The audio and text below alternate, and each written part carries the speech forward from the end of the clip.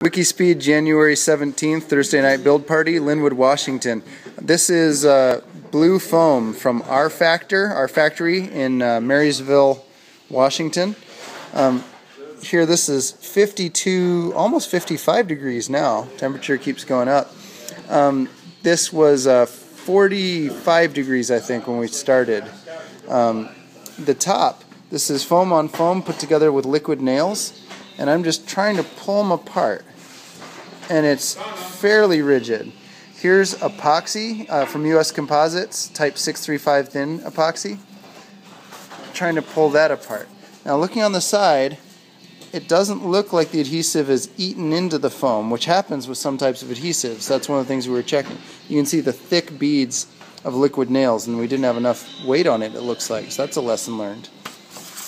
We had, feels fairly light of aluminum sitting on top. If that was steel, that'd be plenty of weight, but it's aluminum, so it's quite lightweight. So I'm going to try to pull these apart. Clay, could you hold this camera for a minute? I'm going to pull and pull until it fails. Okay.